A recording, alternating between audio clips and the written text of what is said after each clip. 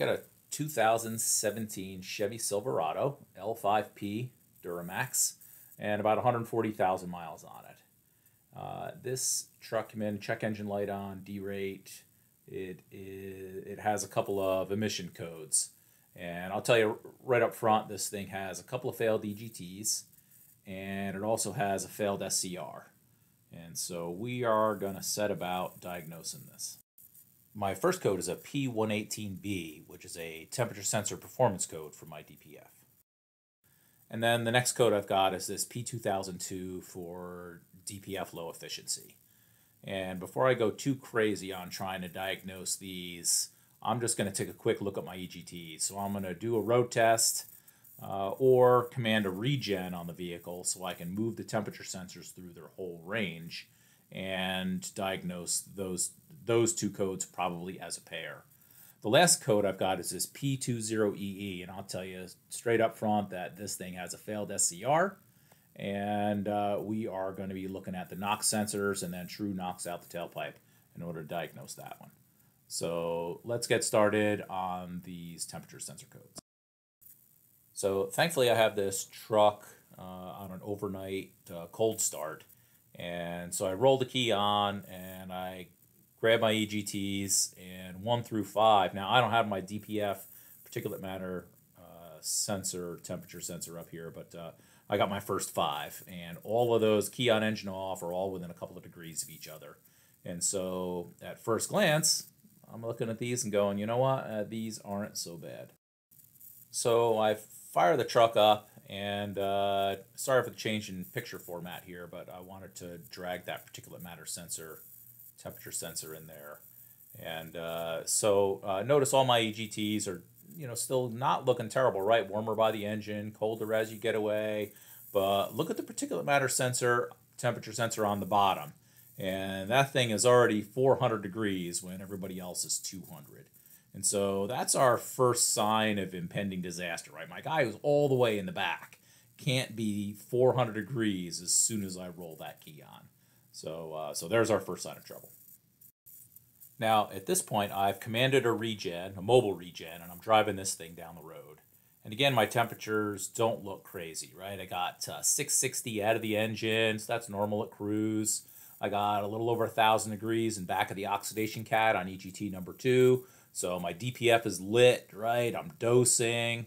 And then my exhaust, you know, there's a lot of mass there. And so my exhaust hasn't warmed up. And so my EGTs, you know, drop off slowly as you get further away from the engine. So at this point, again, you know, nothing looking terribly out of bounds other than that particulate matter sensor all the way in the back that hasn't moved uh, temperature at all. Now that I'm at active regen temperatures, the problem with my EGTs definitely becomes evident. So look what we've got. You know, I've got uh, uh, 779 coming out of the engine, 1050 coming out of the back of the oxidation catalyst, and then EGT drops down. That thing's uh, 900 degrees. And then if you look at EGTs 4 and 5, they're both, you know, 1050. So I've got a cold EGT in the middle of my exhaust system, you know, EGT number 3. So that thing's shot. It's off by a couple hundred degrees, and that's what's causing my both those EGT related trouble codes. It makes it think that the DPF isn't doing a regen, you know, that because it's not getting hot at all, and uh, and also the code for that cold EGT. And then also notice the DPF, a particulate sensor, temperature sensor on the bottom. That thing's still at 500 degree range. That thing's never getting hot. It does come up a little bit in temperature at the very end, but too little, too late. So, uh, so what's the story with those first two codes? Is going to be two failed EGTs. All right, with those first two codes diagnosed, now it's time to go after this P20EE, the NOx catalyst efficiency code, or uh, NOx catalyst efficiency below threshold. Basically, it's saying I don't have good NOx reduction. So I get, grab my reductant data, I build a little custom data list, and notice I've got uh, NOx concentration, parts per million, sensor number one on the top, uh, sensor number two, the outlet on the bottom.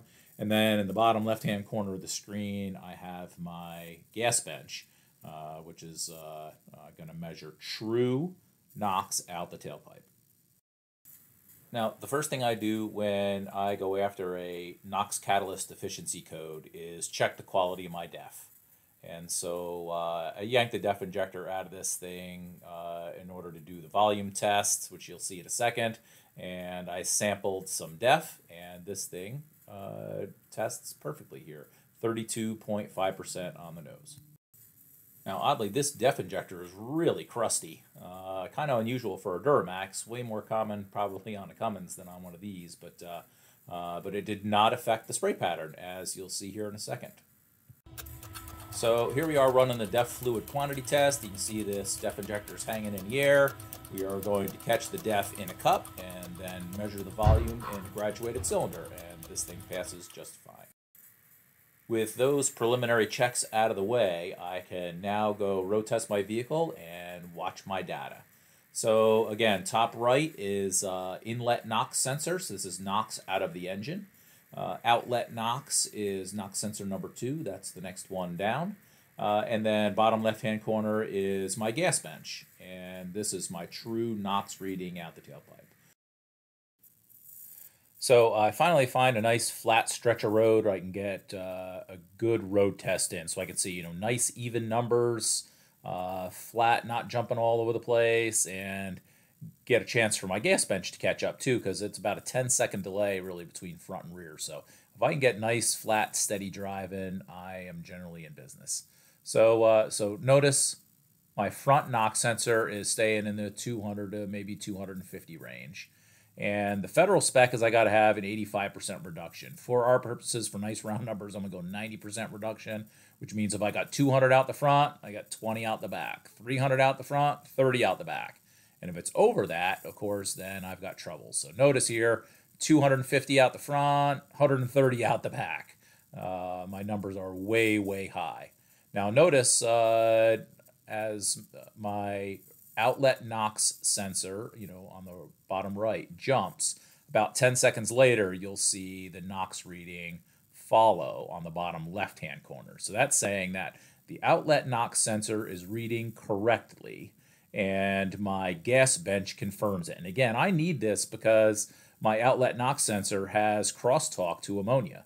Meaning when I inject, inject DEF into the exhaust, if any of that DEF makes it through the SCR, the rear NOx sensor measures it just like it's NOx.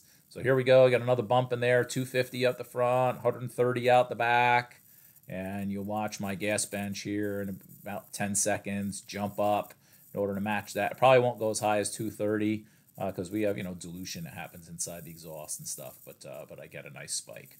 And so steady numbers, I have, I don't know, a little more than probably 50% reduction.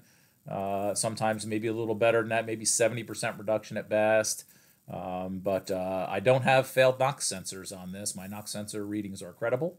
Outlet NOx sensor agrees with my gas bench, and I've got a failed SCR on this 140,000 mile Duramax.